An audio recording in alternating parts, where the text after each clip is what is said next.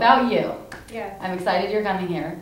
And you went on this trip, right? You went on this trip for about three weeks or a month. Mhm. And now you're here. And you're saying you're in a relationship? I am in a relationship. Okay. We we fight probably about maybe once a week, maybe a little less than that, but we fight Mhm. pretty reg- regularly. Uh huh. And you know, I can I can say, oh, it's because he does this and he does that, and I Mhm. don't like it. But really, it comes down to I've got nothing else better to do, and so I think about Mhm. things that bother me. You do, or both of I you don't? well, I do, and Uh-huh. what bothers him is he's a very independent person, Mm. and I, I forgot to tell you that I'm really interested in personality types as well. Okay. He, he is a thinker, judger, and I'm a feeler, intuitive. So what are those four letters for you? I'm an Um, ENFT. Okay. ENFP. I'm an ENFP also. Oh wow, that's great. He is an ENTJ. That's different. Yes, and since I'm not a very confident hmm uh, person, On the whole. on the whole, because Uh-huh. I'm not a very confident person on the whole, Mhm. that leads me to be more clingy, and he's Right. very independent and very self-confident. Mm. And so, you know, for that's where his problem lies. Is he, he Mhm. goes out of his mind. And he, he talked with my mom. She visited, and he's like, I tell her she needs to take care of Joy all the time. you know, but I I've developed myself so that I'm constantly trying to make other people happy. That's interesting. And for someone who's so independent, Mhm. that becomes frustrating to him because Yeah. he doesn't want me to try and make him right, happy. right. You know, He's a self-pleasing, and you're sort of a people pleaser. Exactly, and and so you know we we love each other very much, but Mhm. we fight a lot, and Mhm. I um, we agree that it's because Mhm. I'm so shaky in myself, Mhm. which is one of the reasons I was looking forward to working with Yeah, you is because yeah. Sounds like you can help me. Absolutely. That's really interesting. You said a couple interesting points. Now, your name is Joy. yes, it is. Do you feel like you live a joyous life? Do you feel like you are joyful? I feel like I'm a contradiction Mm. because when I turn on, when Mhm. I'm when I'm at my best, Mhm. I am charisma. I am You joy. seem like it. I, I mean, um, yes. I it, it's Mhm. like it's like I've read all those books that tell Mhm. you how to win people over. Mhm. It's just that when I'm left to my own demises, when I Mhm. when I uh, like I was telling my boyfriend just the other day, when I go into my default mode, it's Mhm. like I fall flat, and there's Mhm. nothing, and um, you know, it's because I don't know what makes me happy when I'm by myself. I don't, I don't know, and so I just fall flat and get really Mhm. depressed. Mm-hmm. Okay. Okay, that's fair enough. and do you feel like you've been this way like for as long as you can remember? no, well, mm, very young. Mhm. I, it began very young. Uh, my mom was with someone who abused us, Mhm. and it's it's very easy to notice the shift. You know, I went Mhm. from being really sociable in Mhm. school to wandering around the play yard, and you know, spending a lot of time by myself. And, Mm. um, and then in high school, you know, it got worse. I stopped painting and writing poetry and things Mhm. that I really enjoyed. You sound just like me. I used to paint. I used to write poetry. I used to write songs when I was little. yeah, and and you know, and then in college it got Mhm. worse, and I Mhm. stopped doing theater arts, and you know, Mhm. it's like little by little I began to do less of the things that I enjoyed, Mhm. and if I wasn't around people and pleasing them, then I was just being miserable by myself. Mm-hmm. So That's interesting. So, do you feel like by yourself you kind of are lost or don't really know what to do, or? Well, I I How- guess I guess that would be it because like I said I don't know what makes me happy other than seeing Mhm. other people happy, Yeah, you know. I yeah. that's an easy one. Mhm. But if I'm just by myself, I just it just feels empty, pointless. Mhm. And you know, I I've talked with friends who feel bad about themselves and tell Mhm. them, you know, that really if they can make themselves happy, then other Mhm. people will be happier and all the all the wisdom that I've ever read comes out of my mouth. Yes, But applying but it to you- myself, Mhm. it doesn't it just disappears. I forget everything I know. hmm Do you feel like you don't really like your own company, or do you like your own company? Uh, I guess I'm indifferent to it. it Yeah. You know, it's it's not like I well, I do look forward to time by myself sometimes, but it's Mhm. more just because it's downtime. You know, Mhm. like I said, I'm on, and so Mhm. sometimes I just need to be down. Yeah. just relaxed for a minute. But um, I, it's more or less that I'm I'm indifferent to my own Mhm. company because it doesn't it doesn't offer me anything that I'm aware of. You know, I Mm. haven't learned to enjoy it and embrace it and, Or value it? or value it. Yeah. Mhm, That's interesting.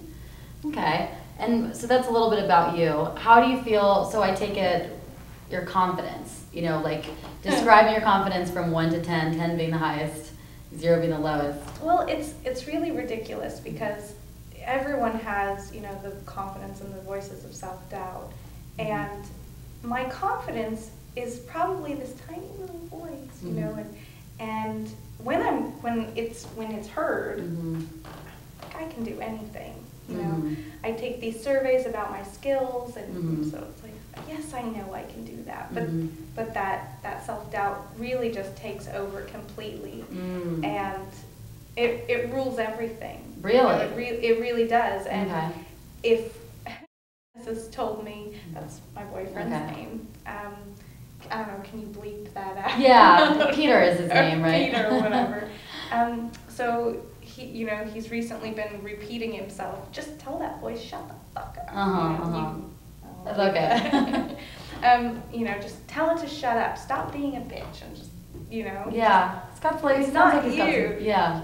you know and and i don't it doesn't make sense to me you know Mhm. because i guess i just assume that it's there for a reason you know Ah. maybe maybe i shouldn't trust the So you, voice okay, and okay. it's, which which i know is probably just the self-doubt taking control again It's like a big bully is what it, it, is. it really is Mhm. it really is So you tend to give in to the self-doubt and think, okay, there's a reason why it's telling me this, it must be my intuition or something like Mhm. that, and and i'm so you go with it. very strong believer of my intuition and Mhm. so you know i just trust it Yeah, yeah.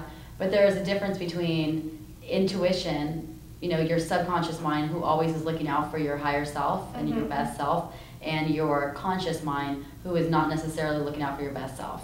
Your conscious mind is that bully in you because you, you know, have been through so much as a person, and so you have all these limiting beliefs built up Mhm. and you have all these scars built up and wounds everyone does and that's what's on the outside. That's the that's the conscious mind that's like you know no you can't lose 10 pounds or no you can't do this and that and here's the reasons why and blah blah blah yeah because it's built up all this resistance to it and fair enough you know that makes sense. But the so i mean how is it supposed to then if that's the guiding force then how is the your unconscious or your subconscious mind supposed to ever pull through? How is it ever supposed to make a change then if you got this bully talking all the time you know and so what happens to you is it sounds like you're kind of giving that more power you're giving the bully more power sometimes Absolutely. okay that makes sense so so your confidence is wavering then it's never like sometimes it's high but it's not like a solid I I wouldn't even say sometimes. It's usually pretty rare that that voice is ever heard. You Mm. know, it's it's more like a, a sense of reason will say that that can't be right. You know, you are Mhm. good at something. Everyone is good at Mhm. something. So then I I let the little voice speak and you know. let it speak for like five seconds it's like screaming more attention yes, right. Okay. All right. So you let it speak sometimes. You're you're not usually like raving confident. Can you remember a time in your life when you were really confident, or was there a time when you felt a lot more confident about yourself? I know I was a really confident kid. I mean, Mhm. I I befriended everyone. I Mhm. I have lots of memories of you know going over to the child crying who was left out, being Mhm. like, "You can play. It's okay." Yeah. Just like they didn't. Other kids would let them play because I wanted them to. Uh-huh. Like I I was very in control, Mm-hmm. and I I lost it. You know, Mhm. like I felt really good about everything I did. You know, Mhm. whether it was handstands or painting or poetry, whatever it was. You Mhm. know, I I felt really confident that it was great. Yeah. You know? Yeah. That's and good. and it it just you know, like I said, it went away less and Mhm. less, or more and more. It went away. Mm-hmm. mm-hmm. It dwindled. Yes. And again, d- did you? Sorry if I'm repeating myself, but did you? Was there a certain event that made it all go away, or was it just a gradual I, decline? I think it was a gradual decline. Mhm. Okay. Yeah. So, Mm-hmm. um, I think the the progression of you know my my success not seeming to make my external environment any better sort of Mhm. helped me to feel like it didn't matter whether I did well or not and I stopped trying Uh-huh. and then when you stop trying you start doubting your ability because you're not practiced anymore. Well, you're you're keep on fitting that mold then. Yeah. You know, you're not trying, so you're you're just keep on fitting that. Oh, I'm failing, and I Mhm. might as well just continue to do to fit that same feeling I have about myself. yeah, absolutely. And so you said something about external. You weren't really up for making the external part of you set you up for success. Or? Well, um, just family life was just chaos growing up. You know, Uh-huh. my mom was a single mom. My brother had anger issues. My Mhm. sister, my older sis, my younger brother had anger Mhm. issues. My older sister acted out a lot and was Mhm. rebellious, and Mhm. my mom didn't really know how to control them, and that Mhm. affected me as the middle child. And Mhm. Sounds a lot like me. I had a single mom, middle child. yeah, and um, you know, and I couldn't do anything no, Mhm. to to make things better on the outside. yeah. You felt? Did you feel kind of like helpless or powerless? Yeah, to- absolutely, Mhm. absolutely. Okay, so that probably led to a little bit of that inner chaos going on. hmm Okay. And did you start acting out in certain ways, or was there like rebelliousness in you too? no, no, I was Mhm. the good child. My mom, my mom made no qualm about telling me, not the Mhm. other kids, but telling me that I was her favorite, and she appreciated that, Mhm. that I made her life easy, and Uh-huh. and so I I always um, made sure not to demand her attention, and Mm. you know just be in the background, Mhm. and Mm-hmm. and then when I went to college was kind of when I fell apart Mm-hmm. basically because I didn't have to be the good child anymore. and Yeah. I just you know I spent a lot of time not going to class, staying in my room, and Mm-hmm. just miserable. So you were when you were like ditching classes or whatever, or, or skipping classes, you'd be in your room, doing what? Would you be like hanging out, or like would you just be like depressed? no, just you know si- sitting in my windowsill, Mhm. lying on the bed crying, like Mhm. really miserable, depressed. Mhm. And was it? Can you? Was it depression about something in particular, or what? Uh, I guess myself, just Yeah. because I blame myself for where I was at and being unhappy Mm-hmm. and not knowing why and thinking that if I had done something right some way along the way, then then I wouldn't be so miserable. Yeah, yeah, okay, so I gotcha.